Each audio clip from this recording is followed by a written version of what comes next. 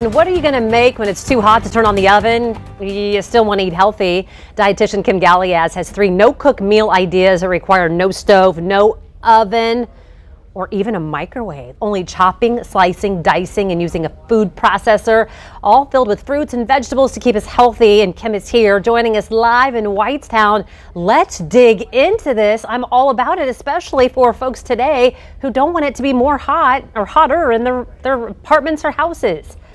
Yeah, exactly. And so you're probably saying, oh, I'm craving noodles. Well, guess what? You normally have to boil those noodles. I say make my Korean spice noodle salad with the fully cooked udon noodles or the rice noodles that you just soak in water for a little bit longer than it says on the package. And you do extra hot tap water. So you don't need to boil them or put them in the microwave. And then my noodle salad, Angela, is chock full of all kinds of zesty spice because I use that Korean chili paste, the gochujang, yeah. and I have some sesame oil and some soy sauce in there and some sesame seeds. But I chop up some apples mm. and some green onions so that you can have some fruits and vegetables. And then you probably want some protein with this salad. So hard boiled eggs are a, a, a, traditional Korean thing, and you don't have to cook those either because you're going to head to the Kroger egg department. And you're going to buy these bags of the already cooked and peeled hard cooked eggs or you can use frozen shroud, uh, thawed shrimp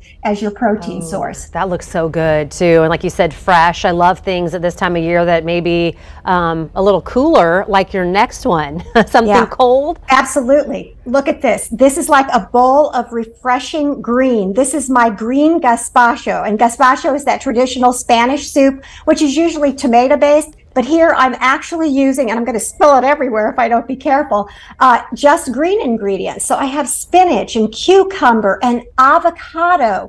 And I have Italian parsley and cilantro mm. in there, mm. some lime juice. Mm. But Angela, I have a secret ingredient in here. Ooh, Do you know it? what it is? No walnuts because walnuts actually give it some texture and some creaminess. They're giving you a little bit of protein and fiber as well, mm. and they're giving you that plant-based omega-3 fatty acids. And speaking of those omega-3 yeah. fatty acids, you can actually enjoy my green gazpacho with some, some shrimp or some oh. crab meat, whatever oh. you would like for protein or just cheese and bread on the side. Yes, yes, yes. I love that. Okay, and then you're going to finish things off with a sandwich.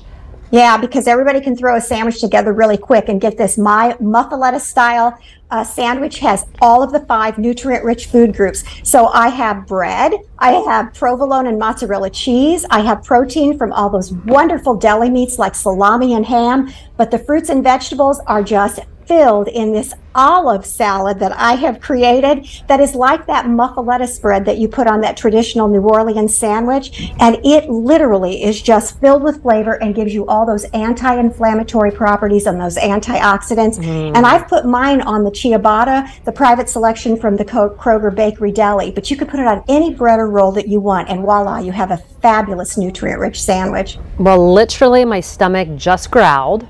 Okay. So um, we'll be eating some of these today. Kim, thank you. And I've been listening to this podcast, trying to like really think about all the greatest foods to eat to just really help, especially women going through menopause. Cilantro, I didn't realize. I mean, obviously through you, I know that there are health benefits, but I didn't realize how much. I got to be honest. So yeah, that's uh, cilantro and parsley, these yeah. herbs, they actually have vitamin K for bone building properties and all kinds kinds of other natural nutrients in them. Kim, you know everything. So we appreciate you really. and hiding and getting some of those great tasting foods and those meals for us. Walnuts, like you mentioned, really healthy yeah. too. So good to see you. Thank good you so much. You. If you would like to try these dishes at home, fox59.com slash recipes. They'll be for you right there.